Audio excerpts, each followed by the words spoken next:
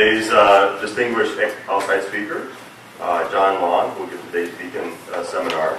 He's the chair of the Department of Biology at Vassar College. He also holds a joint appointment in the cognitive science program there. And he's also director of the Interdisciplinary Robotics Research Lab at Vassar. Uh, he's interested in the function and evolution of animals, although his research combines approaches in biomimetics, biomechanics, and biorobotics, which is a perfect fit for Beacon.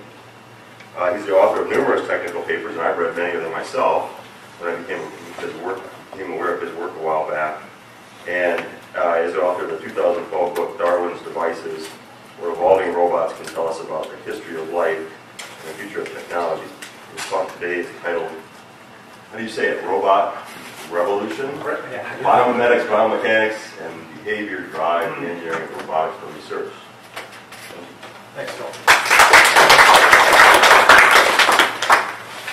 Hello, Beacon. I'm, looking at monitors over there. Um, I've been really impressed over these past two days to get to know those of you in the program and understand just exactly how many different things that you do. Um, I said yesterday before I spoke to EEBB that it was a little intimidating to have this many people doing this kind of stuff. And after yesterday's talk, I want to tell you that I've altered, spent up, you know, was up late last night cranking some data trying to address some of the things that came up in the EEBB talk yesterday. Now, I know not everybody was there, so there's going to be some redundancy for those people who were there, and then I'll try to address particularly the things that came up regarding genetic drift and some of the chance effects in our evolutionary robotic systems. So I just want to let you know about that, that that's coming. What I want to talk to you about today are really um, two robotic systems that we've built, both of them in an attempt to do the kind of experimental evolution that's the hallmark of what you do here with evolution in action. But I wanted to start by talking about um, just a little background for me conceptually. Uh, trained as a biologist, I get a lot of questions like, what in the world are you doing as a biologist studying robots? How do you get there? And there have been a couple of books that have been really influential for me that I wanted to tell you about if they're not on your radar screen. And the first is by um, Pfeifer and Scheier. It's called um, Understanding Intelligence. And this was a 1999 book, but it's a fantastic book looking at intelligence as an embodied phenomenon. All right, so it really extends, gets out of this neurocentric view that intelligence is just something that happens in the brain. Right? Intelligence is something that's enacted.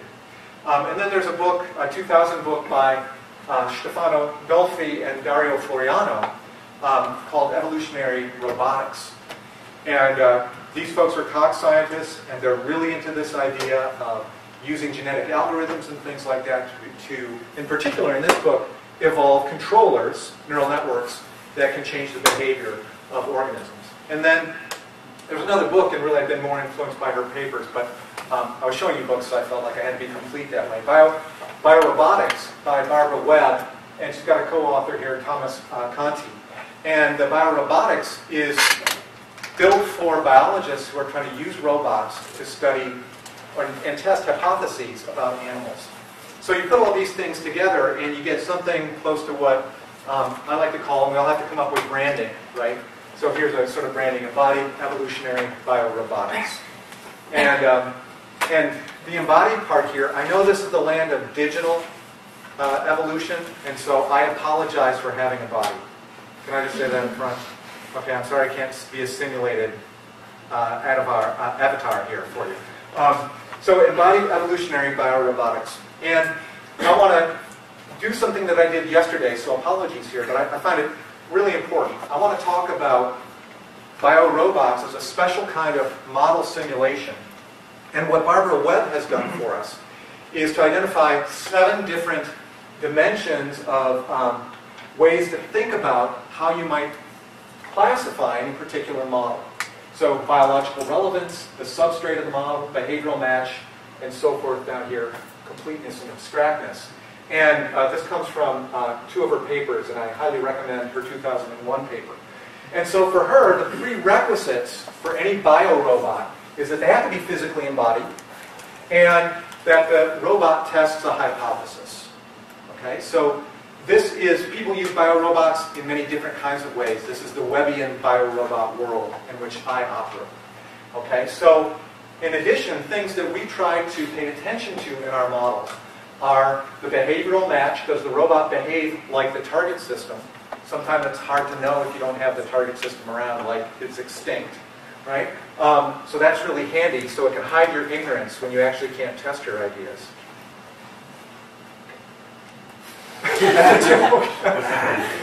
Uh, mechanistic accuracy, which as a biologist, I like to think about as physiology, right? Physiology, the study of function.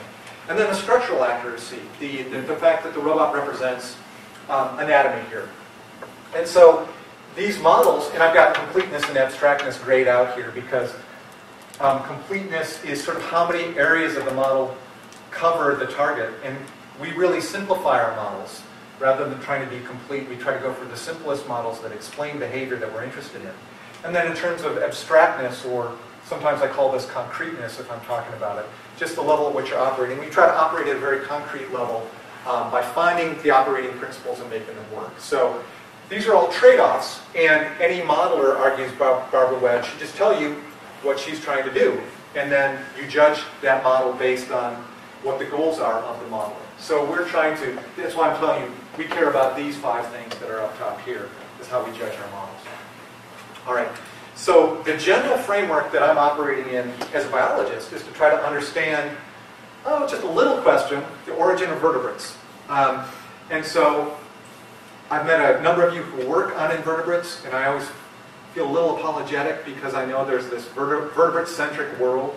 It's like I've learned also from some of you, you know, those of you who were formerly primatologists, it's like, can I get out of primatology? Because it's like its own world that uh, there's nothing more important than studying primates, right? And then vertebrates have some of the same problems. I have an incoming call from Ivy Stanford. Is that yours or mine? That's we don't know what that is. Is that Texas calling? No, that's Oh. U- University of Idaho Idaho's calling. trying to call, Okay. But they're supposed to call the bridge, not us. okay. So, um, in, in terms of the origin of vertebrates, I admit being vertebrate-centric. I find it very interesting to think about the basic body plan evolution that happened over 500 million years ago. And it is tied to this thing, right? This vertebrate head is thought to be an essential piece of the equipment that we have evolved as vertebrates. Tripartite um, nervous system that reflects paired nose, paired eyes, paired ears, and a locomotor system to go along and push that sensory platform through the world. So vertebrates are, for many of us, very interesting. Not everybody loves fish. I love fish, right? And so the, the fact that the first vertebrates are fish, it's like, that's totally cool. Look at these crazy things that you don't see anything like these days um, here. These are mostly jawless fish here, and so we're going to be talking about uh, critters that rep- represent some of these jawless fishes, and actually we can also try to first model what we think a hypothetical ancestor for all vertebrates might have looked like. Okay, so thinking about the ancestral vertebrate for a moment, um, there are different ways that people, when you can't go back into the fossil record and reanimate that ancestor, try to model that, that uh, what it might have been. So there's a big group out that's been studying uh, branchiostoma, which um, has a common name that I'm now forgetting. What do we call branchiostoma? Anybody remember? It's the Amphioxus. That's it. It's Amphioxus, um, which is a common name for this. These are little lancelets. These are chordates, so they have a notochord and a muscular tail, but they're not vertebrates. Okay, they're thought if you look at them developmentally, the notochord goes all the way out here to the anterior-most part of the rostrum. Okay, so some people, the Hollands, if you know their work in molecular biology, they're really big in using amphioxus or branchiostoma, saying, look, this, this critter has lots of ancestral characteristics. We can treat it as if it were the common ancestor for all uh, vertebrates. The problem is, right, anytime you take a terminal taxon and you treat it as an ancestral case, you're ignoring the fact that it's a mosaic of ancestral and derived features, right? So you have to be very careful when you do that.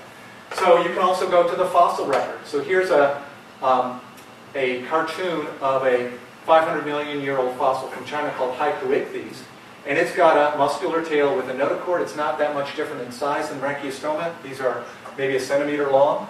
And so we say, okay, well, look at the fossils. We've got these great imprints. We have soft tissue imprints. What can we learn from them? Well, we can learn something about the origin of character states. from the fossil record, right? What comes first? We can't learn anything about process. So up here is, I guess, I think uh, somebody needs to mute their mic over there. Hi there. Okay, so, and then we have, here's another living taxon, and this was a favorite of a famous early developmental biologist named Garstang, um, who wrote, he's actually best known for his poetry about uh, larval forms. It's, you know, it's still in print. You should, if you like, if you're as cool as, or if you're as nerdy as your favorite scientist, go get the poetry by Garstang. It's really cool stuff. And one of the things he writes about is the fact that we can look at some of these larval forms. This is a larval form of a kind of critter, a chordate called a sea squirt. And it has many features as a larva that we see in adult vertebrates. Right? And these guys, I'll tell you a little bit more about them in a second. But here's a muscular tail with a notochord, and here's its head. So that's shared by all these. And what we're going to do here is we're going to go ahead and use this model of the sea squirt here as our living analog of something like the common ancestor, okay, with the caveats that I gave you. Now, the really cool thing about the, the uh, larva of sea squirts is we know, thanks to Matt McHenry at University of California, Irvine, we know a fair amount about how they behave. And so, this little thing that looks like a peace sign here, like a peace sign mitt, is actually an adult sea squirt. And it is a sessile organism. It's on, hanging out on a rocky substrate in the ocean. And it kind of looks like a sponge. It's got an in-current and an ex-current siphon, so it's pulling water in, it's filter feeding. And there's nothing in it that would make you think that this thing is actually a chordate with a notochord, right? One of these continuous uh, backbones down its back. That's because it doesn't have one. It's a sessile organism. But what it does is it spits out its larvae, and its larvae are those things up top. They have a notochord, and they swim. And what they do is they swim up towards the light. So they spend about 12 hours swimming towards the light. They get carried by ambient flow, and then they turn around and they go from being positively phototactic to negatively phototactic. They make that switch about 12 hours. They swim down onto the surface. They resorb their notochord, and they become an ugly bag of mostly water. Okay, it's the final resting state for all of you once you get a job and buy a house. Okay, you see evidence around you. Okay, of, of all this. So um, this is what's happening with these guys, and what Matt has done is he studied uh, their locomotion and their sensory biology. So we have a sense of how these critters work. And what's really interesting about them is these larvae are built only to swim. They're not feeding, so they're a stripped down life stage of vertebrates. They're not interested in doing anything other than getting the keys from mom and dad, stealing the car, and running away, right? And so it's this dispersion, this dispersal here, um, is what this life stage is built for. And so what Garstang um, and others since have, have suggested, and there's some molecular data to support the idea that these guys are actually the outgroup um, to the other chordates here, is that all you need to do is make a larva like this that eats and reproduces, um, and then you can have a viable vertebrate. Right? So one of the puzzles of vertebrate biology is how do you take common ancestors that we think were sessile filter feeders, and how do you get mobile forms? Okay, because mobility is one of the cool hallmarks of the vertebrate lineage. All right, so let's take a look in a little more detail about how these larvae are actually working. And what I want to talk to you about here is an experiment that Matt McHenry did in the lab. So here's a close-up of one of these um, larvae. And I know I've been talking to some of you about helical clinotaxis, so I wanted to show you some data about what I was talking about here with helical clinotaxis. This is a name that's given to the fact that um, many organisms, particularly small organisms, will actually be able to orient up like a light gradient or a chemical gradient by swimming and rolling and turning in a corkscrew. So that's the helical part. The clinotaxis is they're going up a climb, all right, doing this, or down a climb. And so what Matt wanted to do is take a look at how they did this, describe the behavior very well. And so he had these larvae, he got them out of the ocean, he brought them into the lab, and he uh, turned that light on, and they were in their negatively phototactic stage, right? So they would swim away from the light source. And so he could map out in three-dimensional helical coordinates the axis of the helix. And one important thing to notice here is that these guys have a single eye spot. So if you ever hear about Mivart's challenge to Darwin, you know, what good is half an eye? Well, you only need one eye. Forget about half an eye. And it doesn't need to be an object-forming eye to do something useful. It just has to be essentially like a simple photoresistor. Okay? And so there's a single eye spot here. And what Matt did is he measured the intensity that was of the light that was hitting that eye spot. And what you can see is there's a sine wave here because what's happening is relative to the light, so imagine where I'm pointing is the light, right? This thing is rolling like this. So low light comes up high light, low light, high light. So that's just the, the rolling component of it. So that's what causes that motion there. And then in addition, he's measuring this thing called the trunk angle. And that's the angle here between this blobby head and the tail, right? And so what happens is these guys are sort of constantly wagging their tail, and then that trunk angle, they'll turn. It's like a rudder on an outboard motor, if that means anything to you. We're in the land of lakes, aren't we here? We're only, what, you're never more than six miles away from a body of water. You should all know what a, oh, outboard motor is. Anyway, so you turn the outboard motor, it's always going, and that's how you steer, right? And so that's the trunk angle. And then he's got this thing, degrees per, this is in degrees per second, omega here, which is the rotational velocity. So how fast they're actually spinning. And so what he's going to do here at point A is he's going to turn on, right here at point A, he's going to turn on a light from the right-hand side. And what happens to this larva is then it, it goes through this really interesting thing where it actually turns towards the light, performs a very tight roll, and then comes back and now is spiraling away again. So this is its turning maneuver. And so he could show very clearly the kind of stimulus in the world that caused the change in motion of these guys and in this helical coordinate system. So after the light is introduced, there's a delay here between the introduction of the light source and the control variable, which is to change that trunk angle. Okay, to turn, so if you're, swimming along like this, and then the light hits you, and now you, you turn that outboard motor a little more, and there's more of a curve, what's, what we're going to call beta here, that beta angle between your propulsive system and the rest of your body. So you can see there's a change in light intensity that comes before that change in the trunk angle. And what happens here, and I've said this to a couple of you offline, right? It's the omega here, the angular velocity, that's the control variable. And you can see there's a little peak in that, and that is the sole, solely responsible for that change there. It looks more complicated than that, but if you're in a helical coordinate system, that's all you need to affect that kind of change and turn in direction.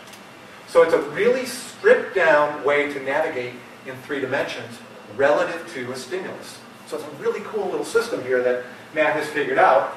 And so, um, in addition to that, he and uh, Jim Strother did a numerical simulation where they tested a number of different kinds of very simple models to think about how you might control this behavior. So here's beta, that trunk angle there.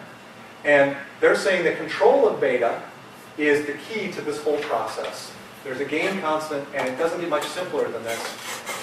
The light intensity is proportional to that beta angle. This is one of uh, a couple models we tested, and it's the one that best fit in a behavioral match sense the data that they have. So you have this tail motion, and then they, they modeled the forces and moments, which then cause the change in heading. So that beta changes the tail motion, causes a changes a change in the, the rate, uh, change in the heading that's measured by omega here. That changes the light perception, which again feeds back and changes beta. So those of you who are into sensory motor loops, here's a very, very simple one. And so what we want to do is we, we're very excited about this, and uh, I know I've talked to a, a number of you who are thinking about going to the SICB meeting, the Society for Integrative and Comparative Biology, which is a nice mid-sized meeting, about 900 posters. This year it's in January in Austin, Texas. Love that meeting. I remember standing by Matt when he was presenting this um, poster, and I just was like, let's build a robot, right? This is so cool. You know, you figured this out. Now let's, let's see if it works in, in, in, the world of robotic modeling. So what's great about this is the simulation predicted a simple linear neural circuit. So that's what's really handy here. Now, I'm, I'm abbreviating helical clinotaxis with HK, by the way. So it predicts this kind of simple circuit, and how are we going to instantiate this circus, circuit? Um, the way we're going to do it is we built a kind of robot that we call TADRO, which is short for tadpole robot. And here's a dorsal view down low. Here's a lateral view here. It's a surface swimming robot. So we're going to simplify our life. Uh, Jabot's group, you guys know that, you know, as soon as you try to go underwater, your life becomes incredibly complicated because stuff leaks. And when it leaks, you wreck electronics. Why doesn't somebody work on waterproof electronics? Wouldn't that be awesome? Then we wouldn't have to worry about all this waterproof. They're making flexible electronics now. Let's make waterproof electronics. Um, anyway, just a, just a wish for anybody listening about when you get it done, let me know. I'll buy it. Okay, waterproof electronics. So what we have here is to avoid those problems of going underwater, we're adapting this system to see if it can work in two dimensions. So these are surface swimming robots. Um, essentially, this is a, a plex, not plexiglass, uh, Rubbermaid. What do we call that? Tupperware. Swimming Tupperware. There's a servo motor here that's attached to a shaft. So here's our outboard motor. And it's flapping, in this case here, of TADRO 3. And you guys didn't hear about TADRO 3 yesterday, EEBB. This is a notochord. It doesn't have any vertebrae. And that biomimetic notochord has an E value, which is a bending modulus, and a length of tail. Those together combine to form the structural stiffness of the tail. Both of these things, E and L, are going to be characters that we evolve a little bit later on, but we're not there yet. We're looking at just trying to build a system that's a model of that behavior of the, the tackle one. We're, we built this initially as an analog um, robot, and then it's really funny. I, I love the analog stuff, you know, with resistors and things like that, because when you do something like we've done here, like you have a, a little computer, people always think there's some kind of magic that happens in a computer. You know, like, it's, it's a brain now, brains control behavior. And so we built it as an analog system. Um, but then, you know, everybody's like, come on, we really got to put it in a computer too. So what I'm talking about here is our computer version of it. And very simply what the code was doing, and I'll show you the code because it's so simple here. We're taking the light intensity at a photoresistor, which we're calling an I here, but it's just a very simple device that changes its resistance inversely in proportion, in proportion to the light intensity, um, feeds into um, the input of an MIT Handyboard microcontroller, and we output from that light intensity then the turning angle, which is that beta. So here is our instantiation of that predicted circuit. And the way this looks in code, and so I know this is a code very, very code-friendly audience, so I figure you guys would be much more comfortable with code than uh, you know, an RC circuit or something like that. So here is, um, here is the meat of what happens, which is we take the sensor value and it's windowed. Okay, so the sensor value is coming as sensor float, and then we just uh, uh, take that and convert it into beta, which is that tail angle, angle which causes our servo motor to, to change its direction. Okay, and we just have a separate motor that's sitting there flapping all the time. So, sensory motor circuits, sensory input creates motor output. Okay? Now, what does this look like when we operate the system in two dimensions? Let me show you some trajectories from looking overhead at this system. On the left-hand side here, this whole column, three different trials of when there is no beta signal present. So these are control trials here. So here's a light that's shining above there. So remember, these guys are orienting towards light. And you can see we start, and it just goes around, do, do, do, do, do, and it stops. Here it, it wiggles, it, it sort of does a path, but it's sort of by the light, but it doesn't stay by the light. Now we did these things we call spotlight, which is we turned it on, and then when this track goes from dark black to gray, that's when we turn the light on. So it's milling around, milling around, turn the light on, and it goes, whoop, it goes to the light, change the handedness of that helix, and orbits in a different, counterclockwise now, around that light source. So here are other trials, it's going do, do, do, do, do, here we go clockwise, we turn on the light, it goes along the wall, comes over to the light source here, changes the handedness of its helix, and then orbits in a counterclockwise manner. So that's repeatable there. We also did conditions where there was a very abrupt, we just kept the light on all the time, there was a very abrupt, um, this was like horrible movie, but I love watching it. Um, Chronicles of Riddick. Remember when he's on Crematoria? You know, you got the shadow coming, and it's like you can't be in the sun. So here's our crematoria version, where here's a very harsh shadow over on this side. So we started the robot over here. It's milling around. As soon as it hits the hot sun equivalent, it shoots over to the other side of the pool, and then it's going back and forth by the light source. You see that over here, too. So what you can see is we're replicating that behavior of being sensitive to the light. We can see, I'm not going to show you the data, it changes the omega in a way that we predict uh, from the circuit. So we say, all right, this is a pretty good behavioral match.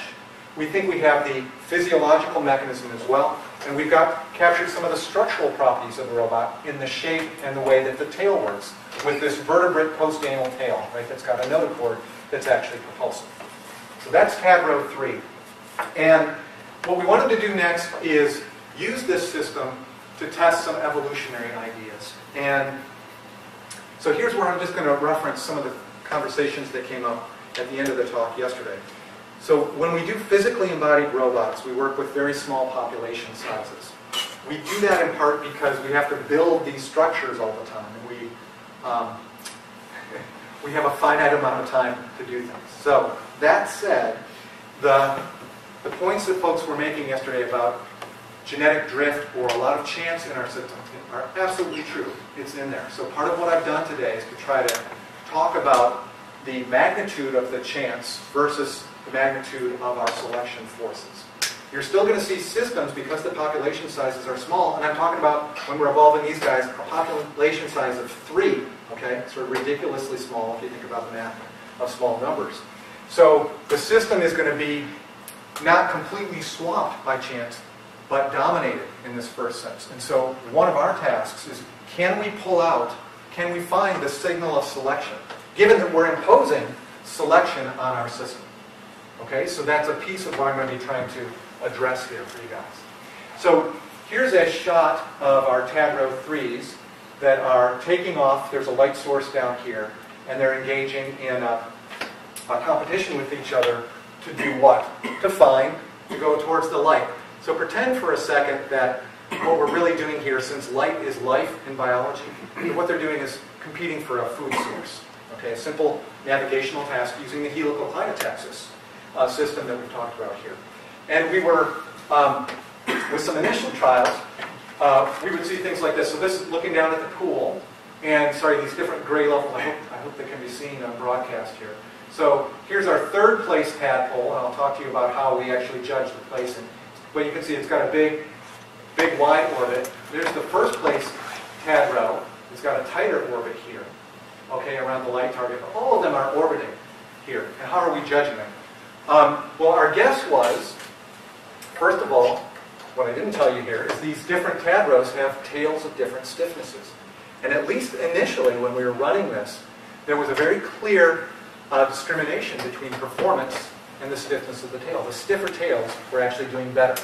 So we had a prediction then that selection for improved speeding will evolve stiff, stiffer tails. And, and now I'm going to formalize what I mean by stiffness here. So this is good old spring stiffness from your introductory physics class, where you have a cantilevered system, and stiffness is equal to, there's a constant that's not in here, don't worry about it for those of you who actually remember there's supposed to be a 3 here somewhere. Okay? Um, this is flexural stiffness up top, EI, so here's that bending modulus, and I is a shape parameter that we're not going to vary, that talks about the distribution and cross-section of the shape. So this is a, in meters to the fourth power, so it's a double integration of the distribution of the area. That flexural stiffness is divided by the length squared of your cantilever beam, okay, for structural stiffness. So you can see if we're evolving E and L, that L is potentially going to have, because of that cube term, a much greater effect on the structural stiffness than E. But we're coding both of these as quantitative characters and allowing them to evolve in our system. So what are we using for our fitness function? The relative fitness in any generation rewards increased speed relative to others in the population, um, reduced wobble of the body. So these guys, as you know, most things when they swim, and I know you guys who work on the fish, right, we're talking about this, when your fish swim, right, they, they sit there and they wiggle a little bit. Depending on who you talk to, that's seen either as inefficient recoil from the tail, right? You want to be able to be straight. Or by other people, it's seen as, depending on how the body's changing, the fish is actually working itself as a wiggling wing, okay? Um, but we said, you know what, probably these guys, they're not wing-like, right? They're a, if you want to get, if you know anything about lifting theory, maybe you could say they're a uh, rotor. Those are the, you know, you can spin a cylinder and it can actually, in a crosswind, can act as a sail. One of those, like, you see it show up in Believe It or Not stories about this vessel sailed across the Atlantic Ocean and has spinning cylinders. So it's used all the time in basic hydrodynamic theory to talk about that. So we don't think these were lifting bodies. So we thought, you know what, wobbling as you swim is probably inefficient, right? It's, it's rotational inertia that you don't need. So that gets a negative sign here. And distance to the food. If that light source is supposed to be food, you know, it's bad to not be by the food relative to other individuals. Problem being, and this is a nice trade-off, thinking of trade-offs here, if you're swimming all the time, how are you going to stay next to the food? So you're going to have to be able to do these tight orbits we talked about. And then the time food. How, how quickly does it take to get into the vicinity? So you may be very fast, but maybe you're inaccurate in terms of your navigational task. So these are the factors that went into our relative fitness function. It's at this point that I want to talk to you just um, a bit about um, uh, this, this paper that I don't think many people have seen from uh, 1995.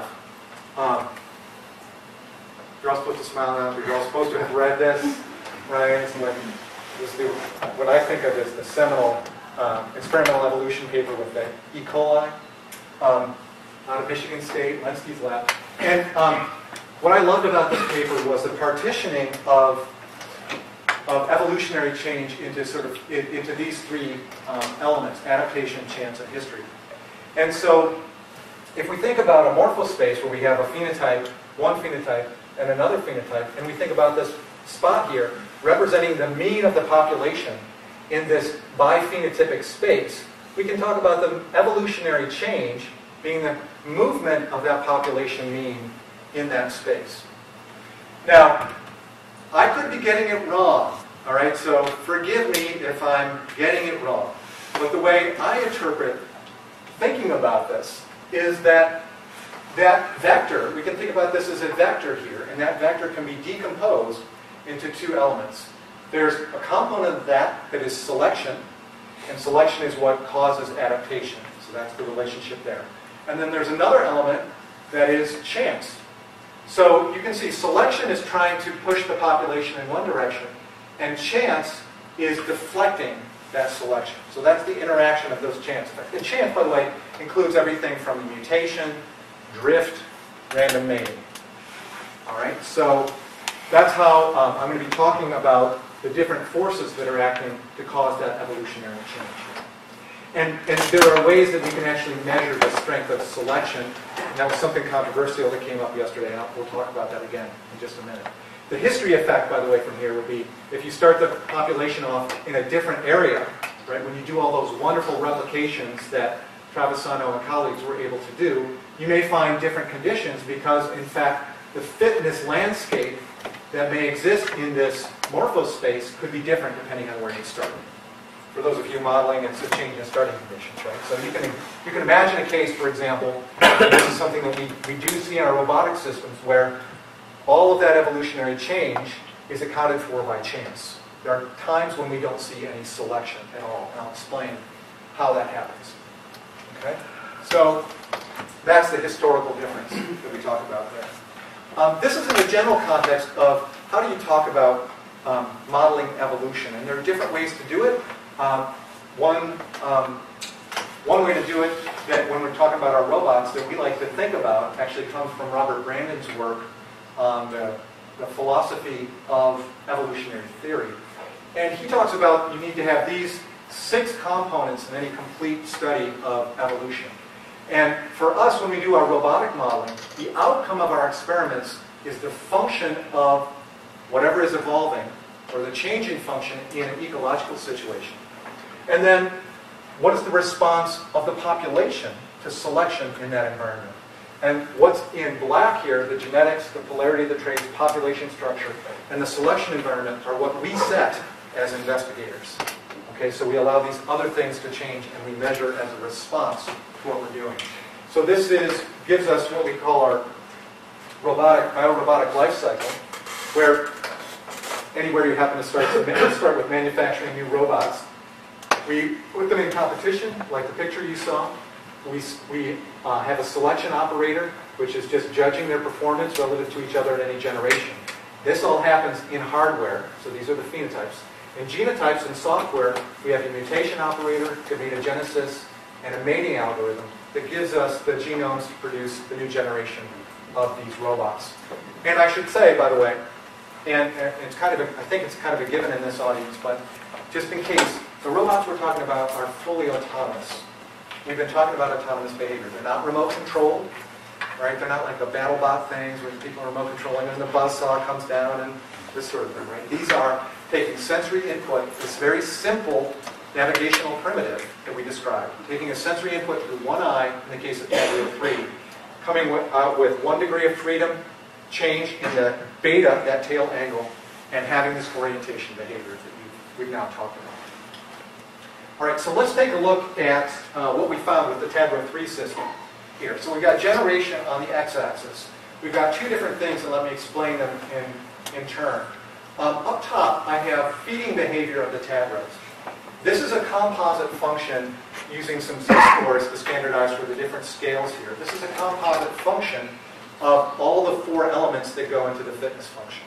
We're comparing them over the entire range of generations. So this should be related to fitness over time if fitness were actually increasing. So there's an average value here that I've just called zero. And better than average over time would be above that line and worse than average would be below it. So these points here represent the mean of the population. You can see it's all over the place. You're, I know some of you are crying drift right now, and you're right. Okay? Well, let's talk about this in a second. So we expected by our simple prediction this kind of a linear model, right? That if selection for tails were important, we would get an increase in the population um, here. So I've connected these up. Um, they really shouldn't be connected up, but there's a reason I'm doing that, and I'll explain why threw that polynomial in there in a, in a little bit. Down below, we have the K, the structural stiffness of the axial skeleton. And how is it evolving? So again, we expected there to be, by selecting for enhanced feeding, we expected the stiffness of the tail increase. Well, part of the problem may be that feeding actually isn't getting any better of the population as a whole if we look at the overall trend. And we see initially what looks like an increase maybe in the structural stiffness of the tail, but then there's a very clear downtrend here. So we ought to say, given the caveat of um, the drift problem here, or the chance problem, and, and its magnitude, the first reaction might be, hey, we disproved our hypothesis. Simple feeding alone doesn't explain something like the evolution of the stiffness of the tail. Okay? Or you might be you might be tempted to say, hey, as that tail gets more flexible, what we're actually finding is the opposite. Right? That flexible tails in this situation are actually more adaptive for feeding um, than non-flexible tails. But we have the problem, right, which is the feeding isn't actually changing. So let, us think about what might be going on here. I have outlined when, I told you we actually know, we know enough about the system because we can look under the hood of when selection is actually happening. It turns out that it's only happening um, in four of these generations. So this is when, by definition, when we have differential reproduction. Okay, so we have these three individuals, and when they differ enough in performance um, to put different numbers, we had a simple algorithm of how many uh, haploid gametes you get to put into the gene pool. Right? So we only had selection there. So if this system is working, right, what should be happening, if we're actually selecting for behavior, and oh my gosh, if we aren't, it should be that this selection means right here, from going from generation 1 to 2, should evolve a population with better feeding. Phew, it did. Okay, what about this? Generation 5 to 6. Uh-oh, there's a problem there. How about generation 6 to 7? Eh, maybe there's a little bit. This is weird that's going on, that we're selecting, but we're not seeing a change here. This is really swamped by chance, would be an idea, right in here in the middle. What about selection at generation 9? Here we are, that population is increasing. So really only in two of those four cases is there a clear signal looking at these data that what we think we're actually selecting for is, is actually changing. Okay, so this is why this shows you here the sort of balance we have between the chance and the adaptive effects. But we weren't satisfied with this. We wanted to understand a little bit more about what's happening. Yeah? What are the errors? Uh, there's uh, standard deviations. And so, um, just taking a look at the genes that I mentioned, so the proportion of the genes that are possible here for E and L. So this is a relative scale. So here's the L, the number of L genes, and we wanted to see what was going on. And I mentioned how sensitive the system was to L, so you can really see. So generation, just to remind you, so selection at generation nine, that was a big change in L. So as L grows, stiffness is going to decrease. So that's clearly, you know, it should be connected to the genes, what's happening with the stiffness, and it is. That's all that that picture is showing you um, there, and just a reminder of where the selection was happening. Um, we thought, well, gosh, maybe we should map this out, what's happening in morphospace with stiffness overlay. Yeah, I, I might have missed this, but how is it that you're encoding E and L in the genome if that's a physical property of the, the you know, the robotic notochord? yeah, we're literally just taking the value for those and treating it as a quantitative trait. So if E has, if E, uh, so if this is 10 millimeters long, we have a diploid genome, and so there's, if you're making a 10 millimeter long tail, 5 millimeters is on, on, on one of your chromosomes, uh, one allele, and 5, uh, 5 is on the other there. So that's how we get our diploid compound there. And so it's just a very informs simple how you build the robot? Pardon? So that informs how you build the Absolutely, robot. right. So it's a very simple mapping. This evolves in software and then it tells you how to build the robot in the next generation. That's correct. Okay. Yep, very simple genetic algorithm. Um, okay, so when we take a look at this population in, here's now, this is E and L, morphospace here. Um, what I've done here is, in terms of these standard deviations, created sort of a footprint of the population for you to look at here. So here's that change when we went from generation 9 to generation 10. There's a big, the vector is of high magnitude. It's not changing much in terms of the bending stiffness phenotype, changing a lot in terms of the tail length. I've overlaid here in these isoclines, K here, this is the 10, um, it's newtons per meter isocline. Here's the 8 newtons per meter isocline, and you can see here's 4, you can't quite see 2. And remember, we expected this to be hill climbing up the stiffness slope. And it's actually, overall, there's some driving around, which has to do with the chance um, and some other things we think is going on. So here's 1 to 2, it's actually getting stiffer. 3 to 4, it's going downhill. It goes uphill right here, then back down, and back, back down again. Okay? So, what's going on here? Um, what we wanted to do is think about the four things that we were measuring as part of our fitness function. So we have that speed, wobble, distance to the food, and time to the food. And this is what's happening in each intergenerational change. Here was the result, right, of whether it went, it increased, the speed increased, or the speed decreased. And what's in gray here is these are the generational changes where selection was actually present. So here's what's happening with the feeding behavior. So actually this was, I said this was negative, it's actually a slightly positive change there, but it's negligible. But you can see in three of the four cases of selection, we had the feeding behavior actually getting better. Stiffness increases in only two, the first two of those. So what is going on here? Well, we have an expected pattern when selection is present. What we had predicted is that when the stiffness of the notochord, when, when feeding behavior increased, stiffness of the notochord would increase, and this would be the relationship of the variables in the behaviors that we were rewarding for fitness. Here's what we actually found, and you can see that pattern here. We have an increase in the wobble in all those cases. So we were wrong, right? I said, you know, you can think about wobble in a couple of different ways. We were thinking of it as an inefficiency here, when clearly there's either a correlation between wobble and something else, or we're just misunderstanding it. So we ran some simulations, and we actually looked at data in the lab as well. So here's, here's that angular velocity, that thing that's really important for the helical clinotaxis. If you just have your, your critter swimming, it's just, you know, there's a little bit of wobble, right? It's wiggling back and forth there. If you add in a maneuver here, that maneuver, right, these guys maneuver, remember, if you think about it as helical clinotaxis, they're maneuvering by turning, right? So you get big wobbles like this when you actually have high maneuverability.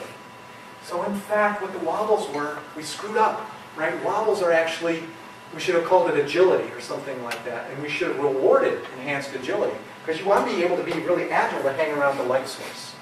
Well, we didn't do, we didn't recognize what was going on until after we'd done our 10 generations of evolution. So we couldn't go back and sort of redo just the numbers, right? Because you changed the population based on the selection that was going on. But we could say, well, what happens then when we take, if we, let's recalculate this sort of absolute fitness value, this feeding behavior. And what happens when we say wobble is good? So here's the old now in gray, wobble is bad. And you can see why I put these um, polynomial lines in here now. Look at that. Wobble is now, we've got much greater change in behavior here with this selection at the first generation. So that's a larger magnitude change. What happens here from 5 to 6? Under the new system, we have a positive change. 6 to 7, positive change. 9 to 10, positive change. So that at least was something that we thought was consistent with what we should be doing, which is selecting on behavior, and behavior ought to be related in somehow to that, that selection. Okay? So wobble is good, wobble is not bad. It doesn't change anything about this pattern, as I mentioned. Now, one of the things we tried to do, because this takes a lot of time to do actual evolution of robots, is our collaborators Chun Wai Liew and Rob Root, who work at uh, Lafayette College, um, will do something near and dear to a couple of your hearts, which is, I know you guys are using Light, uh, Lighthill's elongated body theory, right? Wasn't it? Yeah. What do you lab? And then Tony, if Tony's somewhere, Tony's there, elongated body theory, which is a hydrodynamic theory out there. So we used hydrodynamic theory to do a digital TADRO. Okay? So I know strictly speaking in the world of Barbara Webb, we're no longer doing biorobotics, okay? Because it's no longer physically embodied. Oh well, we wanted hundreds of generations and oh my gosh, what's our, our result here? So we have our virtual tank, and in fact here are the paths of three TADROs. And as you can see, they're, they're sort of spiral, spiraling around. They are not, the, the tortuosity, the curvature of their CHK is actually tighter in these digital TADROs. But they're able to navigate and they end up circling around the light. So the behavior we're, able to uh, simulate here with our physics engine in our world. And what we found, and these are just two examples of it, when you can see we can do, of course, the beauty of digital simulation, you can do buttloads of generations. We kept it to a uh, population size of three, though, so we could have these small um, mathematics of small number effects in there.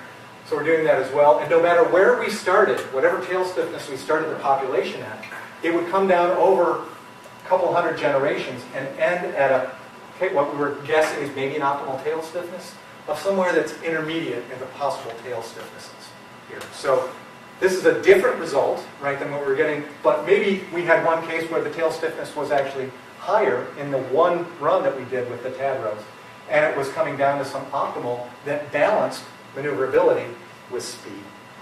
Okay, so that's our guess based on uh, what's happening here. Um, now, there are so my mathematician friend Rob Root, of course, was um, saying, you know, John, we've got to make the population size bigger. Absolutely. You know, uh, small population sizes are a problem because the strength of selection is not very high. So while we're doing that, let's actually actually put in some backbones into our axial skeleton.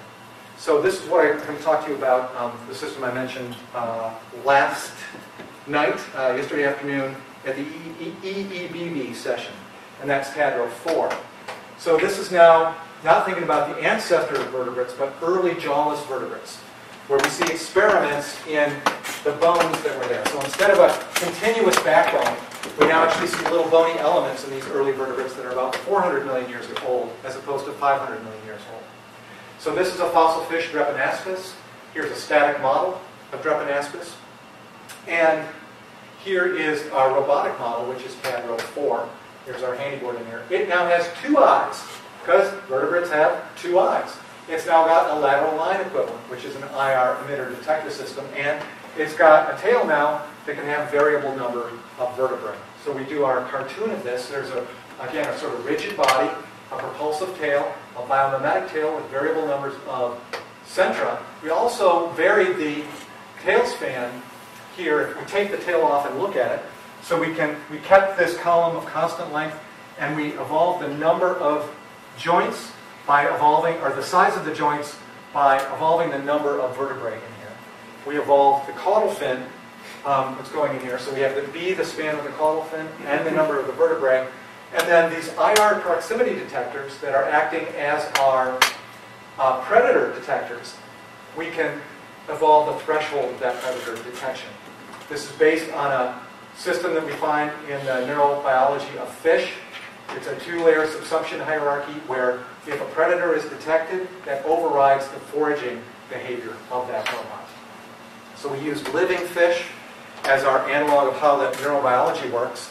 It turns out that neurobiology is highly conserved in vertebrates when you do the phylogenetic reconstruction, so it's probably not a bad guess for a bunch of um, early vertebrates as well.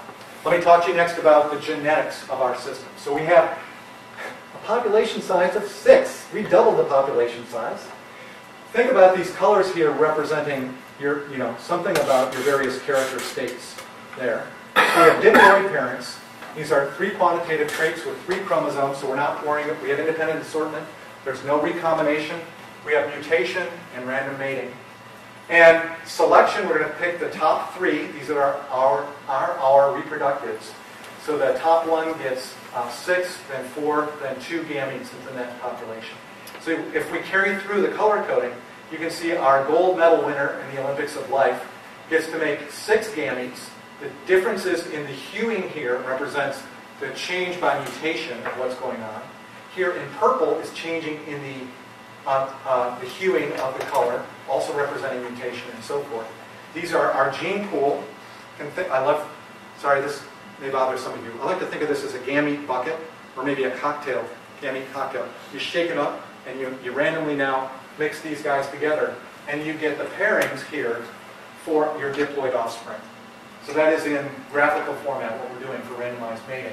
And this gives us the instructions to make the tails, set the IR detectors here for the different robots in our next population.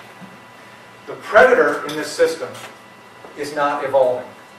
This is the prey that are evolving. So Tadro 4 here is a prey.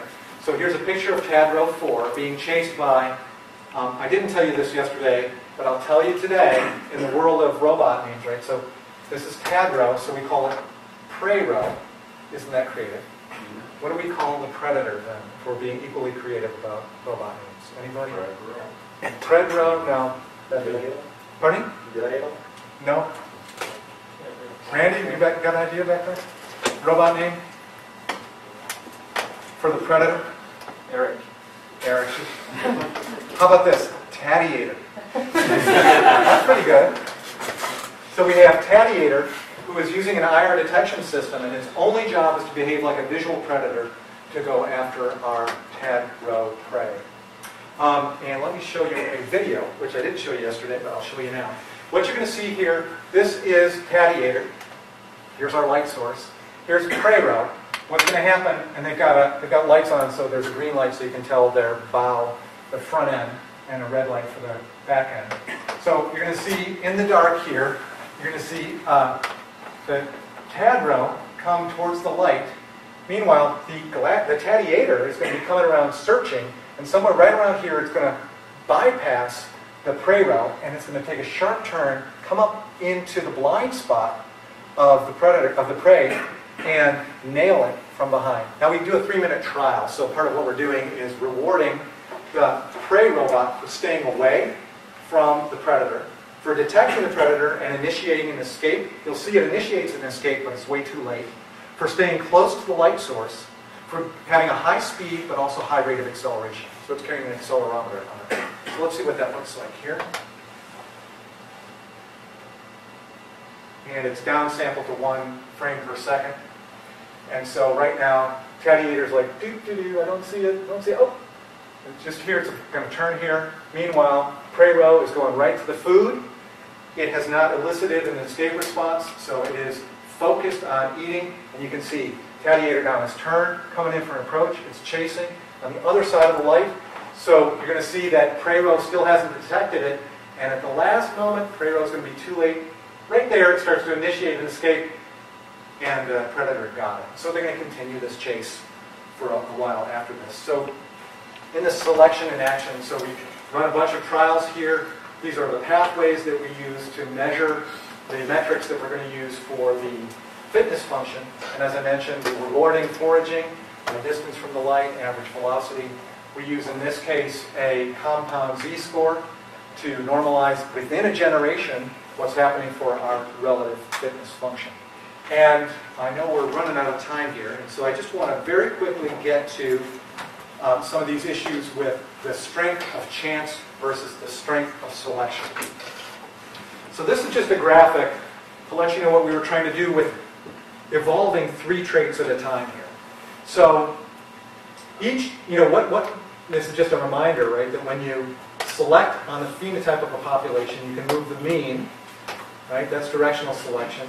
You can change the variance, that's either stabilizing or disruptive selection. So mean and variance can evolve, and in point of fact, so can the covariance.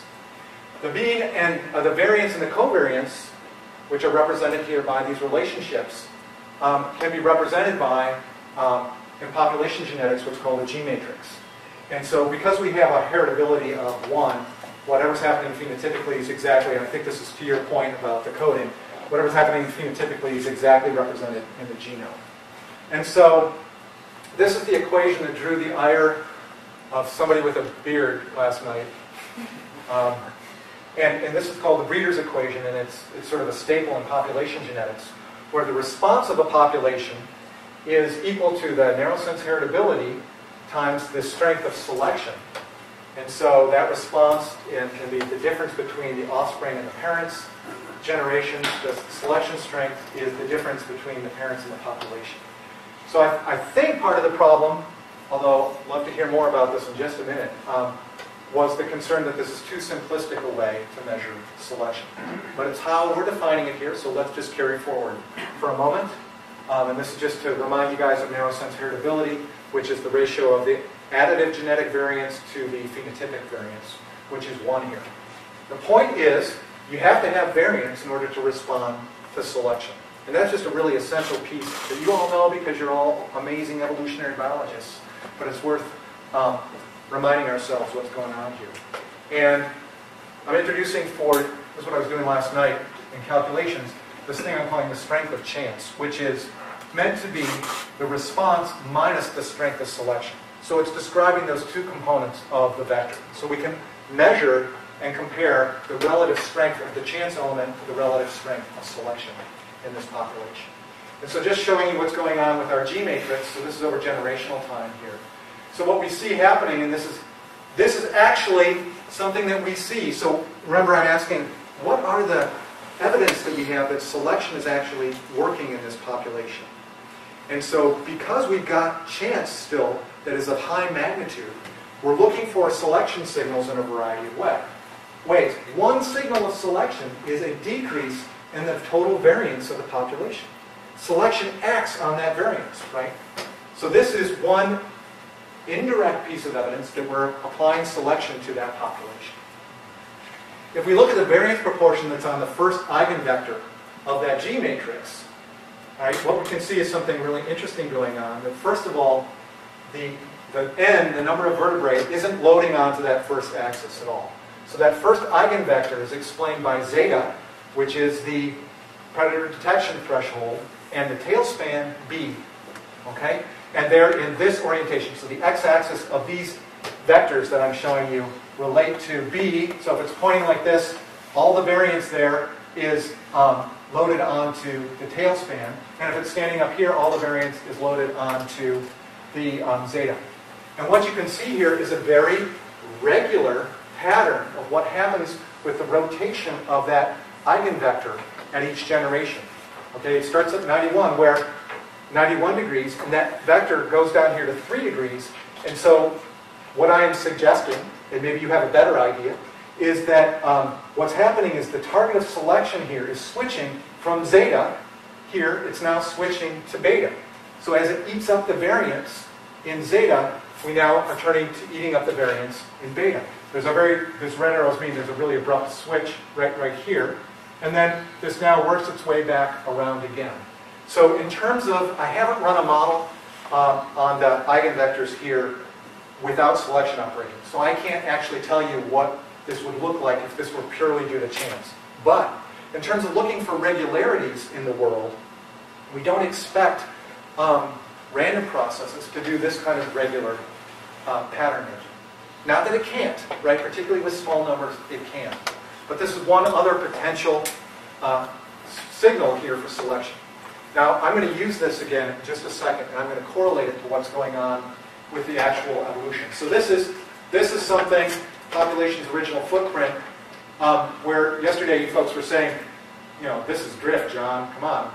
Um, this is not selection. And I said, well, look, the gray dots, I got strength of selection. You know, here's negative selection, it's dropping, I've got positive selection there. So what I did in terms of crunching some new numbers is I went back and I calculated the strength of chance. And what's really interesting here, so thank you for your comments yesterday, is in some cases we find chance to be almost equal and opposite to the strength of selection. So they really cancel out, right? So that helps explain why there's very little change in the mean. In other cases where we see the biggest increases, of course, where you have chance and strength of selection both being negative in this case. Okay, and in some cases, chance, the strength of chance can be very low, in which case we do have selection operating, um, as long as there's variance here to operate. So this would be another piece of evidence I would offer that would allow us to partition the strength and chance in the, sorry, the selection and the chance elements. Let's take a look here, what's going on. What you can see when, so remember, so this is beta, so this is, if we're horizontal, we're switching to beta, so we would expect based on this model, selection to be happening in here. Here's these positive selection values that are happening here. So there's a rough correspondence between our vector orientation there. Let's take a peek now at uh, zeta. And here we've got something really interesting where the, again, it's very clear eating up of that variance. And so if we look at here where, this is where I'm saying, so now we've got, if you want to think about it as um, stabilizing selection where you eat up the, you, narrow the shoulders of your bell curve there. That's why, I'm, I'm contending that's why that's switching there. There's nothing to select here on zeta. So the target of selection can go to beta there, and you can actually see strength of selection is very low. Because you can't have strength of selection, right? You can't select if there's nothing to select from. Likewise, the chance values are very low here, and then those pick up as well. So I'm not arguing based on these data that selection is strong here. I'm saying there's times there's selection that's present, and we're detecting it in a slightly different way than we did with the Tadro 4 system. So here's the number of vertebrae. You can see here um, this pattern here that I was saying, oh, yesterday I was saying, oh, this is directional selection and there's stability. was obviously much more complicated than that that's going on here. Right? We've got a lot of magnitude of chance in some cases that counterbalancing this strength of selection here. Um, also, um, I mentioned yesterday, I didn't show you the data, so I've got the data now, that we can just run controls without any selection at all. So these are three trials and controls to show you the patterns that happen in each of our characters here. And one of the things, um, you know, I have not compared these statistically to, to these patterns here, but one of the patterns that I think I see is that some of the changes that we see in the selection realm here, um, in terms of variance and the abruptness here, if you want to talk about a change in slope or an acceleration of the system, that we see higher accelerations in a system that's under selection than in a system that ha just has chance alone operating in there. I haven't tested that statistic statistically, but that's an attempt to think about that. Um, evolution in morphospace, here's uh, some of these diagrams now that show you, here's where selection is trying to go. It's being deviated in its actual path by the chance effects. Again, just showing the relative, in some cases, about equal magnitudes of the selection and the chance effects. Something else that's worth pointing out in the criticism of this study is of the possible morphospace, at least in this two-dimensional view, we're only sampling a small part of that over these 10 generations. So that's, of course, why you want to do many more generations than are possible. And then the final thing, as I mentioned yesterday during the Q&A, is that we had run the, this uh, test twice. I don't show the first run because, in fact, um, it embarrasses a student who just got her PhD at, at Stanford, but now that she's got her PhD, I'll tell you her name. Kira Irving. In case you're listening somewhere, dropped the robots in the water and flooded them. So, you know, it's not the kind of thing where you go, oh, let's just buy some more motors and pretend nothing happened. Right? We really have to rewind the tape and start. So we started exactly over again. And you can see here from number of vertebrae, we got the same pattern. I didn't run the strength of selection here to test that out. Um, here's this question about optimal tail stiffness that we saw in the Tadro 3 generations. What's really interesting, and this was not the case in the, the tail span, so I, I just left it off here, that zeta, the predator detection threshold, initially we got the same pattern as well in our first two runs with the tapering off. And what was really interesting is if you run a correlation of zeta with n here, at least in the first five generations, there's a high correlation coefficient. Same thing down here, we see a high correlation coefficient first five generations, what's happening up here, and, and a low correlation coefficient afterwards. So in terms of looking for regularities in the data that we wouldn't necessarily think are related to chance, um, those are some signals that are in there. So I want to skip the change in behavior stuff and uh, just remind you that this is all attempt to test these ideas about selection. And I want to thank the students who are in my lab for the many hours that they spent working with these physically embodied robots and drove them into the world of simulation. So, thank you very much.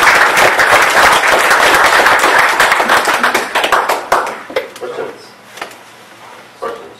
So how does this work with the other? Uh, Bill, please speak up, Bill. Okay.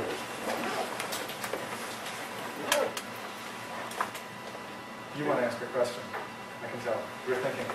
Uh, Yeah, I was thinking that first, I mean, uh, there was a, uh, it was in the first, uh, fifth or sixth slide, uh, that you took the light from the rising head, but uh, it goes and it, uh, it continues to go uh, this rotation instead of going back. Only ask why, why this behavior happens instead of that. Right, so why is the, that delay? Yeah, When you're doing that, yeah, so you change the light, and um, that delay is that the, this, remember these guys are rotating, right? So you may change the light, and they have to get into the rotation where that single eyespot hits that new direction of light, and only then does the tail angle change, and that causes that to happen. So that delay is because um, with a single sensor, you're not taking snapshots to, to detect an error like you would if you have two eyes, because you know you try to null the difference between your two sensors. With a single sensor, you actually have to do sort of the equivalent of kind of spatial integration, right? You have to wait until you move your body in the right position. That it would be another eye, but that's not how you're doing that calculation. Yes? So uh, you mentioned that uh, about calculating strength of selection. Have you Yeah. just tried calculating selection coefficients just based on the relative On the relative one? fitnesses? You, I mean, you have you have numbers for the relative fitness. That's, I seem to you mentioned something about that yesterday. Yeah, you know, so that, that absolute behavior thing might be seen as a kind of relative fitness value. So no, I, I haven't done that to do the selection coefficients. No. I'll do that, no. You will? Yeah. Okay. And I Will you help me? I've never calculated. Absolutely. Selection coefficient. If you give Are those the... partial, are those partial coefficients? Is that what they are? Like a partial um, regression? No, no, no, it's much easier. I'll, Oh. I'll, I'll show you. So what was the, the motivation you had thinking that this, the smaller stiffness would make the fitness better? So we originally predicted that stiffer tails would lead to faster things because, and that gets down to the biomechanics of tails, which I didn't talk about today. But um, you know, things vibrate faster if they're stiffer. Is the quick mechanical answer there. Um, and then when we saw the results, you know, it's a tendency to want to pile on the adaptation explanations, right? Oh, well, it's not chance that did this. It must be, we- must be thinking about this wrong. And that our guess was that with a more flexible tail, you actually can do this thing of getting to the light source, and then you have much better maneuverability of hanging around the light source because you can turn better, because you can actually curve your whole body. Now, we haven't tested that by going back and looking at our videos of the trials to actually measure the fact that, to see if that's actually the case. We do know, because we did test, that there is a relationship, a positive relationship between swimming speed and maneuverability as it's measured by the wobble, which makes sense if you've ever tried to do something like, um, uh, what's a good example? Um, maybe back to motorboats again. You know, you have to have a head of steam, right? If you're going to make one of those cool acrobatic turns, you need to have some velocity to it. So there's a, a positive feedback between that inertia and powering that active, actively assisted turn that we think we're picking up with the big wobbles. Um, yes? How does mutation work in this system? I would imagine that you, given six robots, that you know a, a null mutation doesn't work for your study, No. right? Yeah, so what we were doing is we were just taking, um, in the genome, so let's say, back to the like tail length. So if the tail was 10 millimeters. And so we got 5 millimeters on one chromosome and 5 millimeters on the sister chromosome. Um, what we would do is we would, we would say there's a Poisson distribution. So that's, that's our mutation function. And so most of the time, it's most probable there's not going to be much mutation. But there is probability if we look at the outliers there. So we had a lookup table and we just said, okay, we roll the die every time and say, what is, is what's the magnitude, where are we on our lookup table in terms of the density of the probabilities? So, but it could, so it could step in one direction with some probability, or, or could, Yes. it, could it only get one unit longer, or could it randomly jump from 10 to 4 millimeters or something like that? So it, it, there could be larger jumps, but they were lower probability. Okay. How often did you see that in 10 generations with six robots? Um, so if we go back here to, um, I think the answer is looking at that, um, for example, the strength, I, I, I don't have mutation pulled out here, um, right? But when I look at, for example, I guess another way of stating that is how often is chance explained by mutation versus sampling error? Or, yeah, you know, so I, I, you know. I, I have mutation in my data, so I know what the magnitude of that is. I, ha- I haven't partitioned it into the different parts. Mm, Okay. So you- that would be something you'd be interested in seeing, Yeah. knowing about. Okay. Are there any questions at the uh, remote sites? Any remote questions? Okay, I guess uh, since we're running, oh, was there another question? What- what- Last one? Okay. Well, one task, that's two and a half questions actually. Two and a half questions. Your Tadiator robot, was that built as a vertebrate one or a notochord one or something totally different than those other? Yeah, we, you know, we built it as a- roughly as a vertebrate, um, but it had a, it had a notochord to it. And, and um, one of the, one of the things that is, you do when you're building these systems, and then you forget that you did, is you build them so they work, right? So you tinker around, because the predator can't be too good, right? Or it's just like everybody gets swamped. The Predator can't be wimpy, well, there's no selection going on. So there's a sort of tuning of these things. So the tail that we built for the Predator was a tail that was kind of intermediate in speed, but you saw it could kind of catch up to the uh, Cat. Next question. Curiosity. Um, for the prey robot, you gave it two eyes. Were those still both exclusively light receptors? Yeah. Okay, then I might be asking a bit much here, but can you explain the IR detector as an analogy to the lateral line system then? Sure. So what do you know about lateral lines? A little bit. Around fish. They're, not, they're, not they're like an inside. I like to think of them if you know about the hair cells that are in your inner ear. It's like an inside-out hair cell, which is uh, in- in- inside-out inner ear, which is really cool because evolutionarily they came first. So maybe what we've done is we've wrapped up in our cochlea and things like that, the ocean, in our head. Isn't that cool? I love evolutionary biology. Anyway, so we got this ear on the outside of the fish. Sometimes they're naked neuromasts, little teeny hairs that can detect changes in flow. Sometimes those hairs are in a, a pressure detection system. What we know, for example, is that fish can school um, blind. They can school at night. So they can detect changes in the flow structure there. So that's a passive system. With an IR emitter detector, we're cheating by sending out an IR beam and looking for the reflection of it. But it gives us a proximity in the way that fish are able to, in a much more complicated way, detect proximity of near and far field sources. I guess what both me about that was what was determining the blind spot in there? Because I'm assuming that was just the blind spot in the lateral line. Yeah, they have a body, you know? And so this is where the morphology matters. If we, you know, you could think about sort of putting an array of these IR detectors on if you want to. But fish have variable kinds of lateral lines. Some fish, some fish actually have no lateral line, most of them do. Some have them just on the head, some have them on the body, some extend all the way down the tail. So that would be another way to think about evolving the sensitivity rather than predator detection threshold, evolving where those are positioned on the body. All right, thank you very